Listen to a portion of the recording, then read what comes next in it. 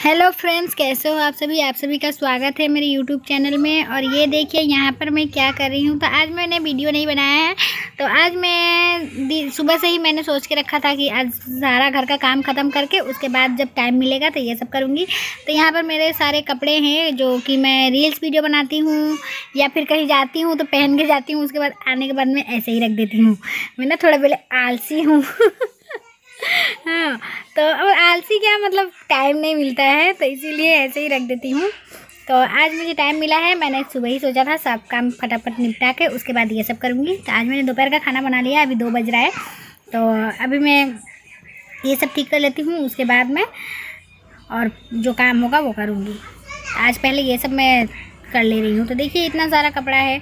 इसमें से कई कपड़ों से मैंने रील्स वीडियो भी बनाया है, बना के ऐसे ही रख दिया और कई है जो हम कहीं गए थे पहन के या शादी में, पार्टी में वहाँ पे तो वो सब भी है।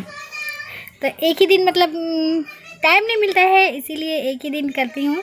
तो ऐसे ही ला के इसमें रख देती हूँ, जो टाइम मिलता है तो फिर करती हूँ, नहीं मिलने से ऐसे ही रख देती हूँ। तो आज देखिए टाइम मिला है तो मैं ये सब ठीक कर ले रही हूँ। और क्या है ना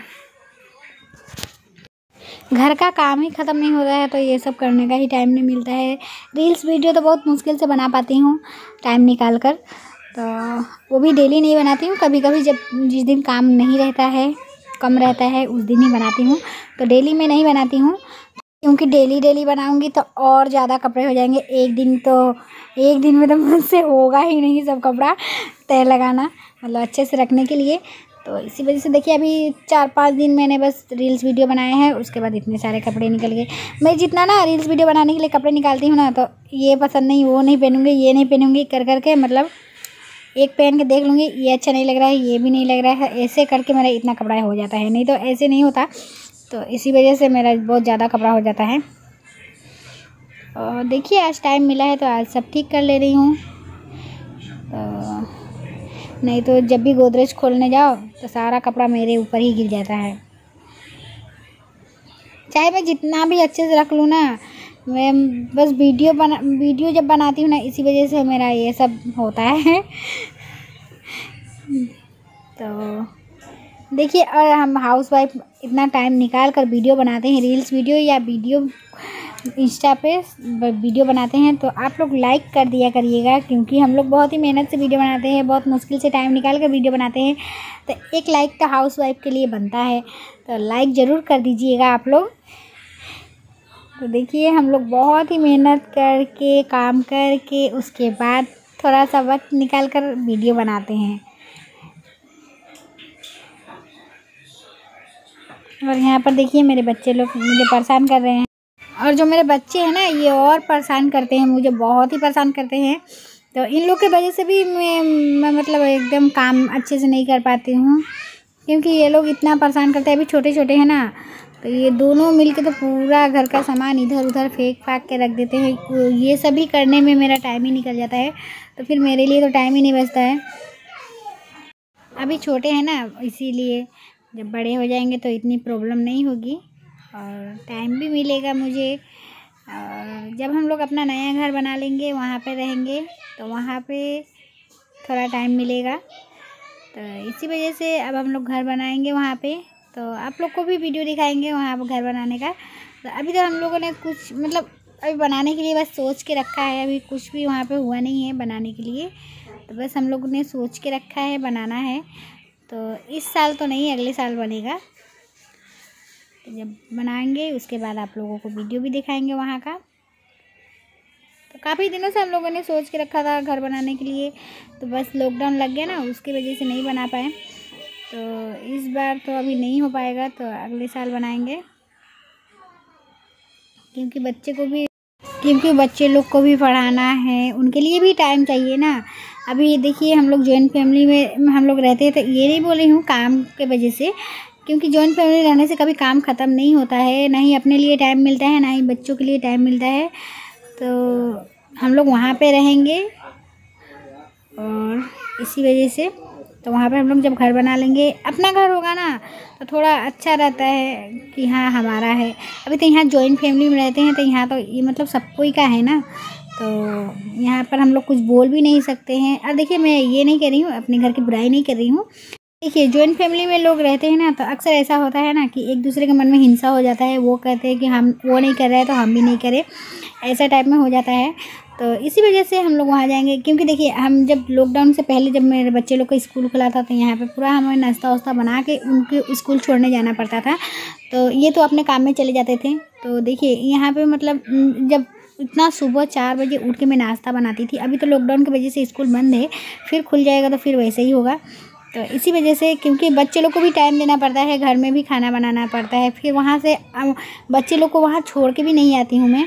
जब स्कूल जाती हूँ ना तो वहाँ पे सुबह नौ बजे से लेकर जाऊँगी, उसके बाद उन लोगों का साढ़े बारह बजे स्कूल छुट्टी होता है तो वहाँ से लेकर ही साथ में ही आती हूँ, फिर आके खाना बनाती हूँ। तो इस वजह से मुझे चार बजे ही उठना पड़ता है, चार बजे उठ के नाश्ता वास्ता बना के उसके बाद जाना पड़ता था। तो अभी तो लॉकडाउन की वजह से स्कूल बंद है। तो इसी वजह से फिर अगर स्कूल खुल जाएगा तो फिर वैसा ही करना पड़ेगा। और तब तक थोड़ा भी वक्त नहीं रहता है, टाइम ही नहीं मिलता है। तो इसीलिए जब हम लोग वहाँ बनाएँगे, वहाँ पे घर बनाएँगे तो वहाँ पे रहेंगे। तो थोड़ा टाइम भी मिलेगा, क्योंकि देखिए हमारे घर में जॉइंट फैमिली है, पंद्रह लोग हैं। उन सब के लिए, सब लोगों के लिए नाश्ता बनाने में बहुत ही टाइम लगता है ना। तो इसी वजह से, और कोई वजह नहीं है। और वैसे भी हम लोगों ने जब ज़मीन लिया है वहाँ पर तो घर, आज नहीं तो कल बनाना ही पड़ेगा। तो हमने सोचा है कि अभी बना लेते हैं। थोड़ा बच्चे लोग को भी प्रॉब्लम नहीं होगा और हमें भी नहीं होगा। बस यही वजह है और कुछ नहीं। तो देखिए, यहाँ पे आप लोगों से बातें करते करते मेरे कपड़े भी तय लगे। मैं ना साड़ी के जितने भी तय लगाती हूँ ना, अच्छे से होता ही नहीं है। कहीं ना कहीं कहीं ना कहीं छूट ही जाता है। पता नहीं साड़ी के दुकान वाले इतने कैसे ठीक से करते हैं।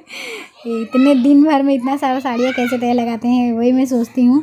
मैं जब भी साड़ी मतलब हेवी होता है ना, उनको जितना भी मैं ठीक से कर लूँ ना, होता ही नहीं है मुझसे।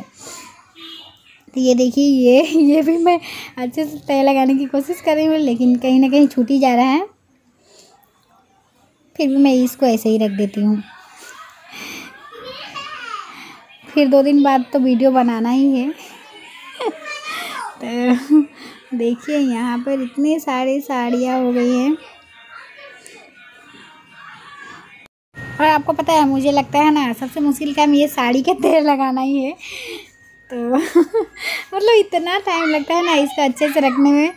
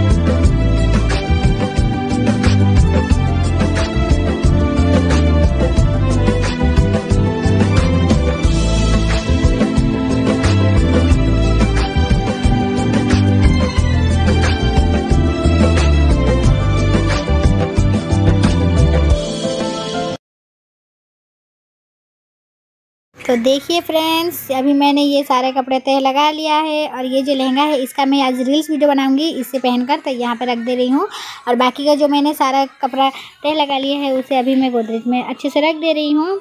और ये सब काम ख़त्म होते ही अभी मैं जाऊँगी खाना खाने, क्योंकि बहुत ज़ोरों की भूख लगी है तो खाना खा लूँगी, उसके बाद का और काम करूँगी। तो आज आप लोगों से बातें करते करते मेरा सारा काम भी ख़त्म हो गया। यहाँ पर जितने भी साड़ियाँ थे, मैंने तय लगा दिया। रोज़ सोचती थी कि आज करूँगी, कल करूँगी, आज करूँगी। तो आज मुझे टाइम मिल गया। तो अभी देखिए, मेरे बच्चे भी पसंद कर रहे हैं तो उधर मुझे बाहर भी जाना पड़ा है बच्चों लोग का। तो अभी मैं सारा काम ख़त्म हो गया मेरा। तो कैसा लगा आज का वीडियो? कमेंट में ज़रूर